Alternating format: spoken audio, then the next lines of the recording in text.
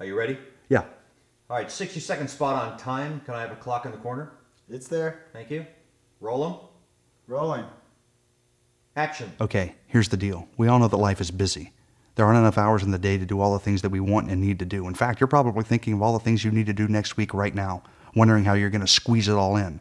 But the fact is, no matter who you are, no matter what you do, no matter how much is on your plate, we all have the same gift of 24 hours each day. It's 24 hours, 1,440 minutes, 86,400 seconds. All the money in the world won't let you buy one single second more than the next guy. And once that second is gone, it's gone forever.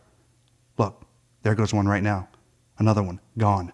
You'd think that we would judiciously use such a limited and valuable gift. You'd think that we would choose wisely how to spend, no, invest our time. But do we? Really?